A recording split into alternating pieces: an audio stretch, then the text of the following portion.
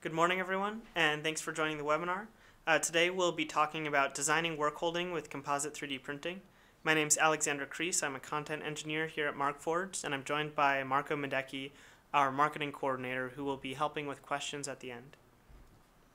So our agenda for today, first I'll talk a bit about Markforged and our company history. Then I'll go into some of the challenges associated with work holding for, uh, for machining.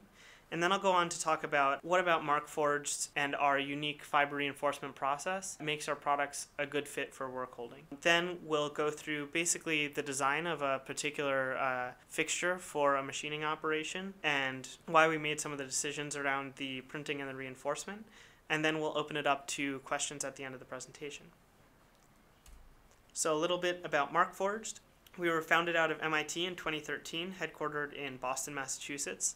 We shipped the Mark I, our first product, in 2014, and have expanded and developed our product line, achieving profitability in Q1 of 2017 and 300% year over year growth last year. We have backgrounds from a whole range of different companies and institutions, including MIT, Olin College, Tulio, Cisco Meraki, Bell Laboratories, Sonos, and Enernoc. So, as a 3D printing company, we cover the full range of materials from plastics to continuous composite materials to metals. Today, we've shipped thousands of machines to customers worldwide, ranging from small machine shops to international businesses. Our customers use our products to produce high strength, high quality parts in a wide variety of applications, from tooling and fixturing in manufacturing to functional prototypes to end use parts. We have a wide network of resellers that provide support, maintenance, and training worldwide. Our products are trusted by industry leaders spanning many verticals, including aerospace, healthcare, automotive, manufacturing, and education. So, our mission is to empower engineers to unlock the next 10x innovations in design and manufacturing. And when we're talking about manufacturing, we're not just talking about the end use final products that companies produce, we're talking about all the steps that it takes to get there. So, starting from your first prototype to your final product produced in thousands of quantities, there are all of these challenges along the way, including work holding, tooling and fixturing, inspection, scale up, and we want to help solve a lot of those challenges in manufacturing. So that's why we're talking about work holding today. We're going to go into a brief description of work holding and some of its associated challenges. So, in any manufacturing operation, you always need a way to hold your part while it's being manufactured. Normally, standard vices or clamps are used, but as your parts get more complex, it becomes much more difficult to hold your part this way.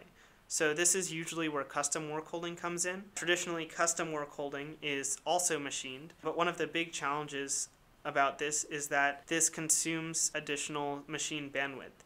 So if you're trying to machine a part, you have to do preemptive machining steps just to machine the fixture to hold that part first. This can end up becoming very costly and very time consuming as your part complexity increases. So some of the properties associated with work holding include uh, precision. Your part needs to be very precise so that when it's located on the bed of your mill and you're performing your machining operations, you're performing them in the right spot. The part needs to be tough and stiff because you don't want the fixture to deflect or deform during machining because this will also ruin the job. And you want your part to be chemically resistant and wear resistant. Chemical resistance because in machining you use a lot of coolants and fluids to make sure that the machining operation goes through smoothly. And you also want wear resistance because you don't just want a fixture that will last one operation or get you through five runs of the same part. You want something long lasting, something very sturdy and robust. So parts need to be very wear resistant. So as they age, they should work just as well on every single part, no matter how many times you're manufacturing it. So now we're going to get into why Markforged products in particular are very useful for creating this type of work holding. So many 3D printers are incapable of creating work holding for machining because they fail to meet the material requirements. Plastics like PLA and ABS are brittle and will degrade quickly when exposed to machining forces and coolant. So our materials are very corrosion resistant and very wear resistant because we have a nylon base. So our Onyx chopped carbon fiber nylon blend is one of our unique materials that is very chemically resistant and very wear resistant because of the combination of the nylon and the chopped carbon fiber. So our continuous fiber reinforcement process enables much higher strength, toughness, and durability with the continuous fibers and makes them much stronger than these sort of traditional 3D printing plastics. In addition to our material strength, we design our machines for industrial purposes. So our machines have a well built aluminum construction and we have features like the laser micrometer pictured here on our industrial series machine that enables high control and precision in combination with our full sensor suite on our machines. So we can usually achieve precision in the range of 50 to 100 microns. So now back to the strength. It's the continuous fiber in our parts that allow Markforged printers to achieve such high strength. Many other printers can print in chopped composite fibers similar to our Onyx material, but the continuous strands are really what make the strength difference. Basically, when your part is loaded, the forces and the pressures distribute along the strands whose high tensile strength basically absorbs the load and makes the part very, very stiff, very tough, and very strong. And our software gives you the ability to basically control where this fiber goes in your part you have granular control layer by layer of your fiber reinforcement in your part and you can select between different fill options like isotropic fill on the left here which basically lays down a sheet of fiber within your part or internal hole concentric fill, which encircles the internal cavities of your part. We have a few other options, and basically, this allows you to optimize your part strength for its application. So, before we dig into the design, I'll explain some of the sort of theory behind composites, why we have these options. So, basically, uh, composite sandwich theory describes beam bending behavior under a load. So as a beam like this is being flexed, the top and bottom panels experience the most stress, whereas the core undergoes very minimal stress. So by only reinforcing the top and bottom panels, you can efficiently reinforce a beam, minimizing its weight and its cost. So this is why you'll see I-beams used in construction. It's because they are maximizing the strength to weight of the beam by removing much of the center section and leaving the rigid panels on the top and bottom. Uh, so this theory sort of will guide us through the fiber reinforcement process and why we make some of the decisions about our reinforcement. Um, so now let's get into the design. This is the part that we're machining. It's the rear motor mount on a Yamaha XS650 motorcycle. So this part has a few interesting features, some pockets, some tapped holes, and extrusion on the underside of the part, uh, which basically means that we have to have two setups when machining this part, one for the top and one for the bottom. So going right into setup one, we're going to index off the part. You can see that basically this is a very traditional machining setup. We have a vise clamped to the bed of our mill, and we have the aluminum block that's been cut to size clamped in the vise. First we're going to face the part to clean up that top surface. Then we're going to machine the outside profile as sort of a rough pass, and then a finish pass. Then we're going to machine out some of the pockets and drill the holes, tap the holes, and eventually we'll end up with a completed first setup.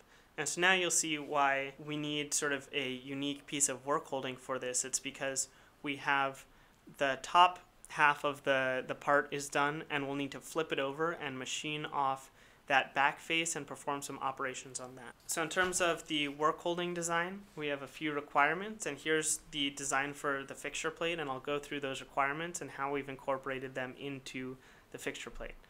So first we need to locate the part on the fixture plate. This is important because if the part is not located precisely, then the top face won't match the bottom face. So we need to make sure that everything is lined up well and that the machine knows where it is with respect to the part, which requires a very precise fixture. How we're going to locate the part is with this sort of recession that you see in the center of the fixture that uh, locates the part with respect to the fixture. As I said before, we can achieve roughly 50 micron precision, so this locates the part and it's a very snug fit. We then secure our part down, make sure it's clamped in our fixture with some bolts coming through the bottom of the fixture. And then we need to locate the fixture on the bed.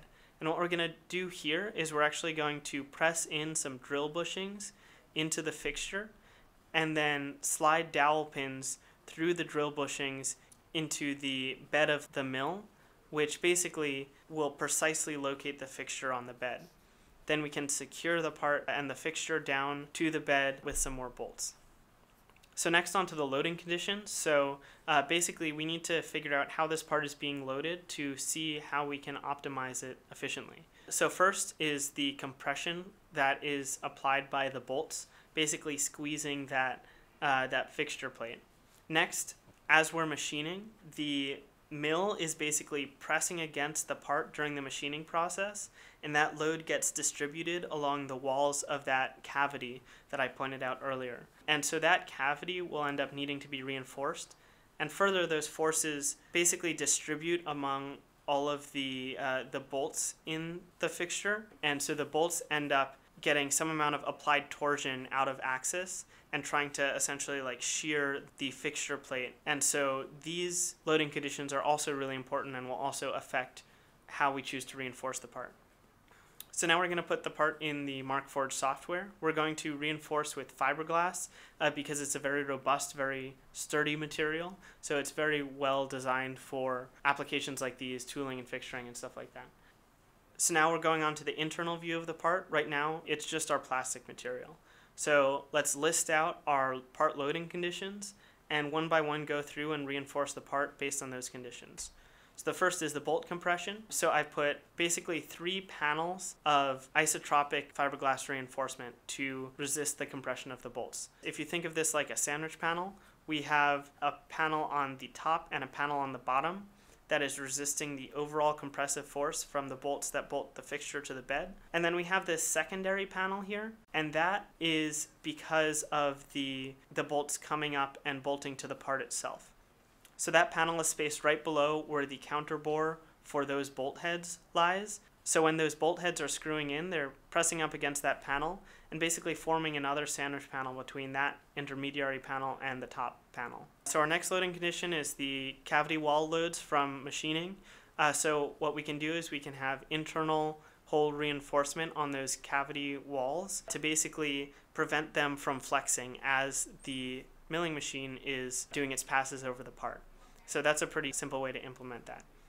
So that last loading condition that's caused by the distribution of the forces from the milling operation onto all of the bolts, we're also going to apply concentric rings to reinforce the cavities of all of the bolt holes. So if those bolts end up twisting out of axis, then those rings will end up uh, sort of reinforcing to prevent that. So now let's look at the part statistics. So the print time is about 17 hours. When you compare this to the time it would take to get a similar fixture plate or soft jaw for this part traditionally, this is very reasonable. That's because this is 17 hours of your print just running by itself unattended. Whereas if you had to machine these soft jaws yourself, you would have to get the stock, you'd have to write your program to run your CNC machine and machine out those soft jaws. And that ends up taking a lot of your time or your machinist's time. Whereas here you're just hitting a button, pressing go, and your fixture's ready the next day. Likewise, with the cost, uh, machining often ends up being costly because as your number of operations increases, uh, the cost increases. Whereas for 3D printing, complexity is essentially free. You hit print, there's no material waste, your print completes. For a part with the strength requirements of a fixture or of work holding like this, this ends up being very affordable. And we've had customers that see very high return on investment because all of their work holding, all their fixturing for anything from machining to quality assurance and inspection all that time and all of that money ends up being drastically reduced by just hitting print and having your fixture ready to go the next day. Uh, so now we're going to set up two. We're taking this part, we're flipping it over and placing it in our fixture. You can see the dowel pins there that I mentioned earlier to align the fixture with the, the bed of the mill. One of the interesting things about this part is that it's tricky to index off of. So usually when you're setting up, you know, a second setup on your machine, you need a flat machined surface to index off of so that you can use that as your reference when machining the rest of the part so that the top surface matches the bottom. This part has curved surfaces, has this rough cut shape on the top, and doesn't really have anywhere good to locate off of. We actually have to locate and index off of the fixture plate itself. We can do that because the printers end up being very precise. So this is one of the added benefits of the precision of the printers is that you can index off of our parts to set your zero on your milling machine. So now that we have our part indexed, we can go ahead and machine. We're going to face off the material on the top machine down some of the sections of that top face, and then chamfer all the edges. And so now setup two is complete. And if you look at that chamfer that's running around the edge of the part, if the indexing was not precise, then there would be a noticeable offset in where that chamfer exists. So we were able to set up and locate our part effectively with this fixture plate. So now we can mount it on the motorcycle and we're good to go. So just as a summary with composite 3D printers, you can really reduce a lot of the hassle and the challenges in work holding by printing your fixtures, printing your soft jaws, and work holding for machining. These end up being very cost effective parts that are made to handle the machining requirements. Because of our chemical resistance, because of our toughness, our strength, you can create parts that will last a really long time on a manufacturing floor. So using Markforged products really allows you to streamline your manufacturing workflow because you can crank out tooling, these fixturing, and work holding parts really, really cost effectively and really quickly. Thank you all for attending, and I hope you enjoyed the presentation. Now we're going to open it up to some questions. If we don't get to your question, or if you have any other insights or application ideas or anything like that, please feel free to reach out to us on our website where a sales representative will be in touch.